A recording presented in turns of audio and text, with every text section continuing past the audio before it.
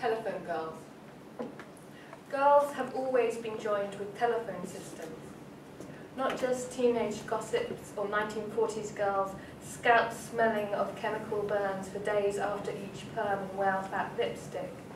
Girls plugged into circuit boards, primed for scandal, heavy Bakelite ear cones and mouthpieces rising like snakeheads up from their breasts. But that's not what I mean. I mean anchorites, telephones to God. They chose to be built into church walls. Dame Julian of Norwich, Emma of All Saints North Street, York, the masonry rising like slow upward guillotines. The simple engineers would leave a slot to admit a parcel of light and air, food and requested prayers.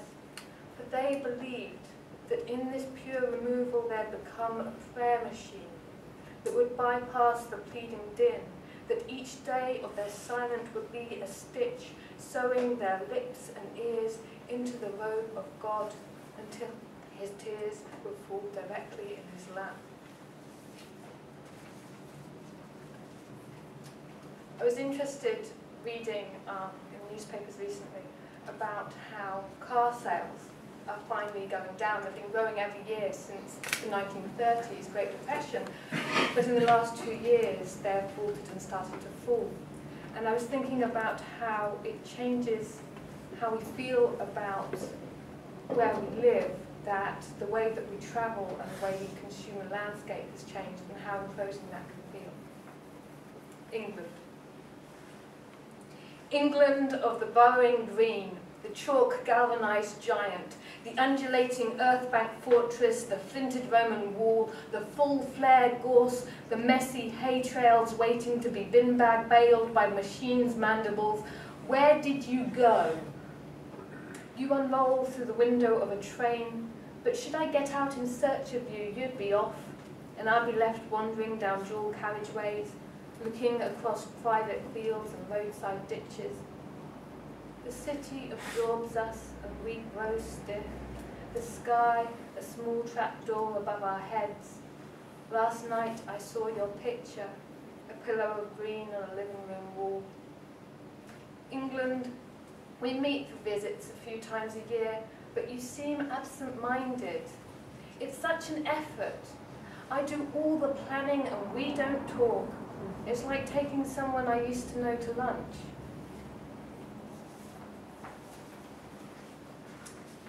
And last up, I was thinking of people being trapped, and I was thinking of Atlas. Not Atlas how he is in the myth holding up the sky, because then he's obviously trapped. If he drops the sky, he's going to get squished. But Atlas as he is on architecture and statuary, where he's holding the world up. And he's obviously trapped because he's holding the world, but why doesn't he just walk away? Why can't he let go? Atlas pushed into the putty of his face. His arms are bent and both palms up to keep it on the column of his spine. A ball inflated with churning iron that tears its skin like rising dough and ruptures in small spots, coughing up boiling rock and blinding ash through tiny puckered lips. He remembers, but he doesn't know who told him or if it was in a dream that the surface is lousy with microscopic beasts, some of which have souls, like pale balloons tied to their wrists. If he could squint his eyes tight enough, he could see if this were true, if it was worth the effort, or if he can let it drop to burst at his feet. He fantasizes, a torturer, forcing him to hold the churning stone.